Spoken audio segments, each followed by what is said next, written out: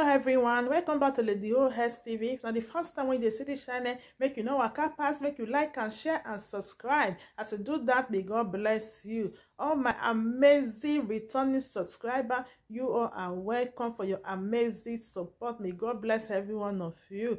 I got the video one that I want drop. What do I think about this video? Put it in the comment section. Please like the video, share the video, if you never subscribe subscribe and press the bell so that make they join the movie train as dey move as you do that may god bless you i see you guys on my next video every single day. And I was focused. I knew my target. I knew what I was doing. I would tell them, publish it. I don't care, publish it. Because I know their agenda is to stop me.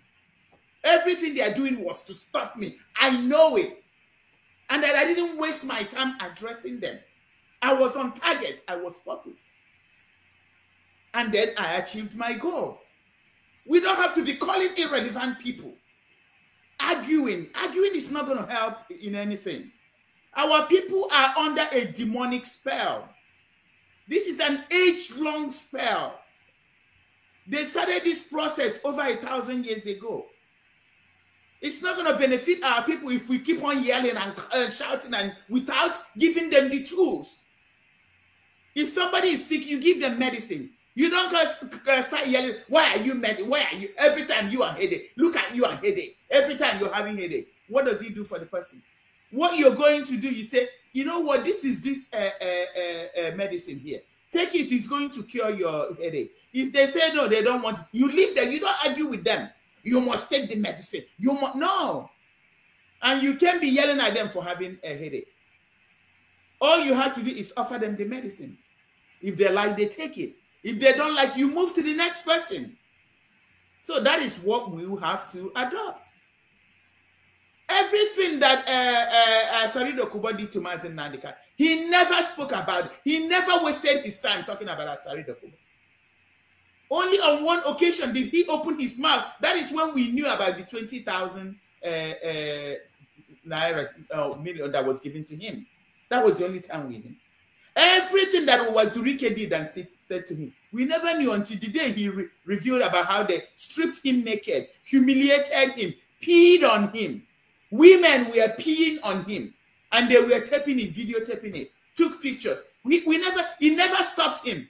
As soon as that incident took place, the next time he was uh, on the microphone preaching, did he start crying or calling their names or yelling about them? No. He knew what he wanted to do. He knew that their plan was to stop him. Our leader didn't allow anybody to stop them. Everything. Now we know about Uche Mefor. Everything that happened, our leader never took his time, precious time, the time that he has with his people. He never wasted it on irrelevant people, irrelevant issues. He only talked about Uche Mefor just one time. After too much pressure, he said one thing, and that was it. There is nothing like uh, the office of the deputy, this and that. He was a, he's very strategic. He was strategic in everything that he did. That is what we need to adapt if we adopt, if we need to reach our people and help our people. Our people are under a spell. Even the names of the people you are calling, they're under a spell. Do you think they can help themselves? If they can, if they are not salvageable, if they cannot be redeemed, you forget about them and then address the people who can who are redeemable. We need to be focused. We don't, these people, all they do is to distract and waste our time. Mazi Nnamdi Kanu never allowed anybody to distract him. He was razor sharp focused. He did what he needed to do. So our people are under a spell, under a bondage. They don't even know what they're doing. Our job is to teach them when you get up in the morning, come outside, remove your shoes, stand on the ground, look at the rising sun, face the rising sun, use your mouth and speak. That is what we need to teach them. We teach them to do it every day. When they hear it and hear it, and hear, one day they will try it. And once they try, that person is liberated. If I'm calling one fool that was paid to distract what I'm doing, I'm keep on calling their name. When will I have time to teach my people what to do? I'm telling them if you're a woman, if you're and if especially if you go to the village, anytime you get the opportunity to travel to the village, this is what you need to do. Call upon your ancestors. Use your mouth to speak. That is how this spell is going to be broken. Instead of arguing with the person, instead of arguing with the people that have sold their souls to the devil, instead of letting them stop this message, we need to focus on setting them the strategies to liberate our people. That is what we need to focus on. Our leader called it Egusi, peeling a, a what melon, melon seed. That's not no, we're freedom fighters. There are times to do that, but not all the time. Especially we Idu people. We've passed that stage. What we are focusing now is on our people. There's revolution coming. It's already in the air. We need to focus our attention on teaching them what they need to be prepared for this revolution. Not as addressing such a flyer. That is the job is the, they send such a flyer to distract us. They send such a flyer to destroy Mazi Nnamdi Kanu. Destroy man. Make sure that what he did uh, uh, uh, is not going to come to pass. People we are calling, but you are the one who was crying and advocating for him uh, to be uh, uh, to be on Radio Biafra. I said because he had an assignment. His assignment doesn't have to be positive, but he's the one that will do what he needed to do.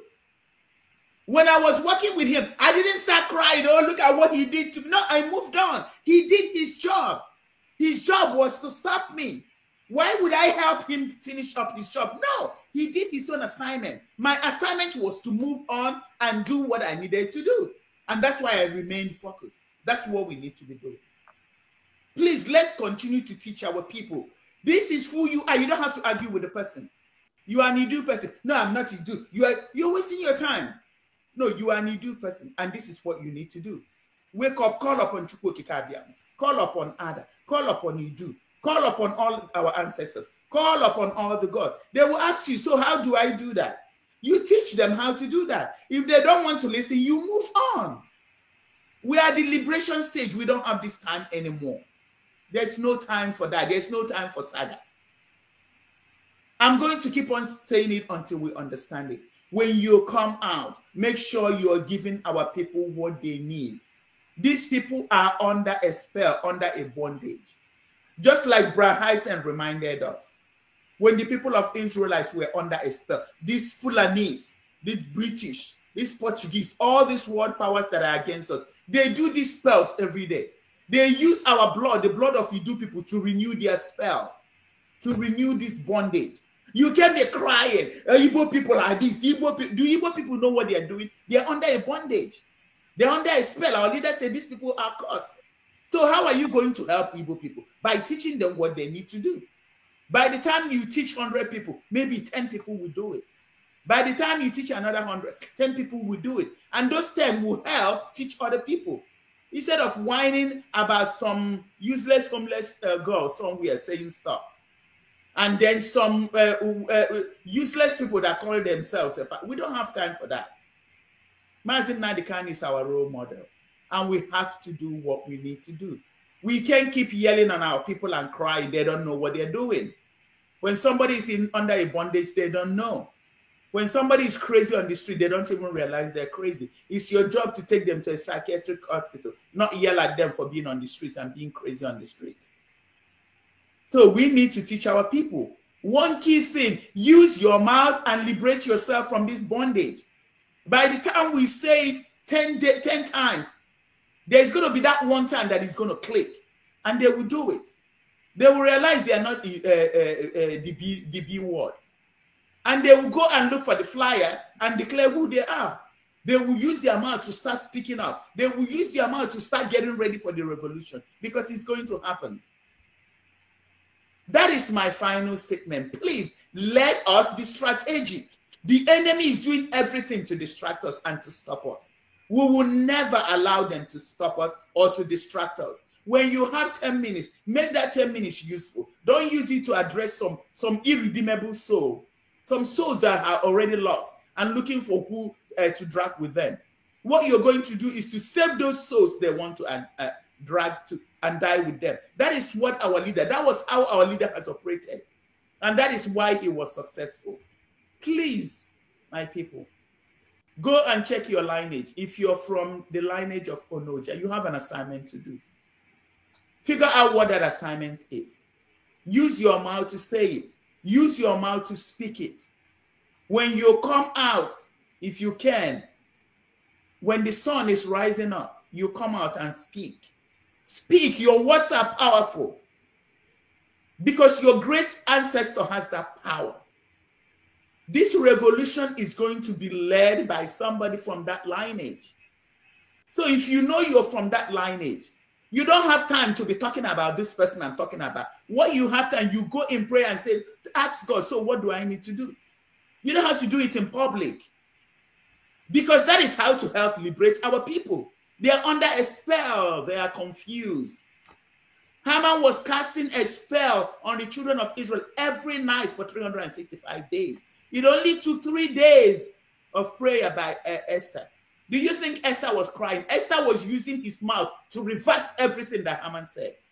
She was using her mouth to counter it. She was using her mouth to speak it out, counter it. That was only three days. And then the spell was broken and their eyes opened. That is what we need to do. Teach our people the skill don't cry over spilled milk. It's already spilled. Teach them how to go get another cup of milk. That's what we need to be doing. Please, when you wake up, call upon the great, our great ancestors. Call upon Chukwu Okike Abiama. Call upon Ada. Call upon Idu. Call upon our all our ancestors. Call upon your great great grandfather. Call upon the gods of our land. You see people running around, getting uh, having a native doctor. They say they are writing names of native doctors. They say they are uh, destroying shrines. Why do you think they are doing that? Because what you're doing is effective, is powerful. You need to teach more people how to do that. When they come out, they speak. The word, this tongue is so powerful. There's no, there's nothing, there's no spell that is not broken by spoken word. When you understand who you are, you use that power and speak.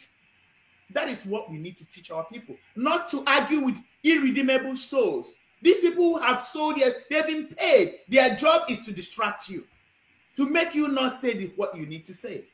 If you're yelling at, the, at somebody, they're not going to be able to listen to you to get what you need. The tool is what we need to give to our people. Declare who you are. Make that declaration seven times. People asking you about you do when you when you're honest with your whole heart Call upon you do seven times and see what happens. People have testified. Idu will show you that he's the, she's the archangel. If you don't see it, you will sense it. So why are you going to argue with people back and forth? You do is a shrine. You do is who has time for that? We don't have time for that anymore. We're about to raise our flag. We've raised our flag already. We're about to raise it for the whole world to see.